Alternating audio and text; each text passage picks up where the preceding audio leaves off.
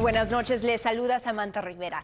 Los Bulls se enfrentaron a los Trailblazers desde el United Center esta noche, tratando de conseguir dos victorias seguidas. Y estando tan cerca del All-Star Break, también saben que cada victoria se vuelve más importante y necesario. Zach Levine lo sabía también. Aquí está con tres puntos, tuvo 15 puntos en el primer tiempo. Luego, en el tercer, vino Nikola Vucevic con la clavada con una fuerza que hasta aquí se sintió. Después de eso viene Ayo Decimo con otros tres. Los Bulls finalmente se adelantaron aquí. Levine disparó otros tres puntos.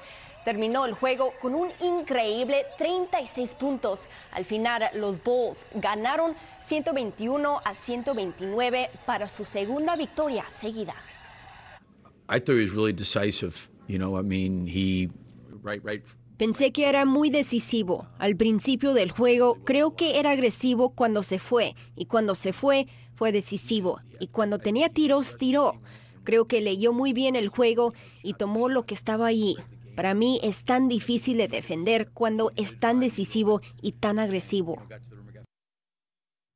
En la Liga MX tuvimos a Pachuca jugando contra León. Pachuca tratando de tener el primer lugar completamente sin estar empatados con Monterrey. Afortunadamente para ellos pasó exactamente así. El gol de Javier López ayudó a Pachuca a ganar 1 a 0. Los Tigres también ganaron hoy contra Cruz Azul 1 a 0. Entonces, por ahorita quiere decir que con 12 puntos Pachuca está en el primer lugar con los Tigres en el segundo con 11 y Monterrey baja al tercer lugar con solo 9 puntos.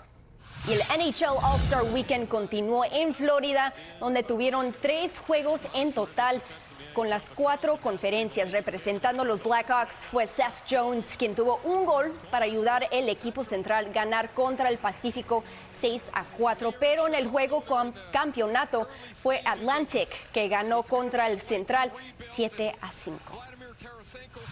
Mañana las Chivas y Querétaro se enfrentarán en un juego que pueden ver aquí en Telemundo y Peacock empezando a las 5 de la tarde.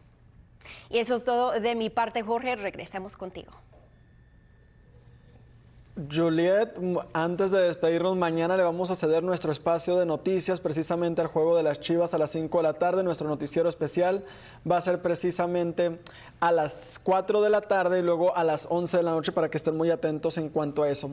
Ahora vamos a darle un último vistazo a las condiciones del tiempo porque esas condiciones han estado casi casi de regalo. Sí, recapitulación muy rápida. Mañana principalmente va a estar bajo condiciones secas, cielos mayormente nublados, esas temperaturas en el rango alto de los 30, pero ya la próxima semana vamos a estar en los 40 prácticamente toda la semana y la probabilidad de lluvia más fuerte llega desde el miércoles en la noche y todo el jueves, que sí va a estar abarcando toda nuestra región. Ya el viernes nuevamente vuelven a bajar las temperaturas rango medio de los 30.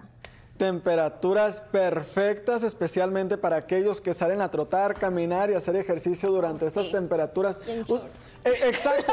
Ustedes no me lo creen, pero yo lo miré esta mañana. ¿Sí o no pasa aquí en Chicago? oh, ya, oh, ya, definitivamente. Y le quiero mandar un feliz cumpleaños a mi papá. Es mañana, pero va a cumplir años. Cumpleaños. Ah, pues, feliz cumpleaños. ¿Cómo se llama tu papi? Joel. Joel, saludos compadre, lo esperamos para que nos acompañe mañana con el juego de las chivas. Ahí le pones un guacamole para que disfrute y una carnita asada, ¿vale? Perfecto. Felicidades. A nombre de todos los que hacen posible este noticiero, gracias por acompañarnos. Nos vemos mañana aquí a las 4 de la tarde.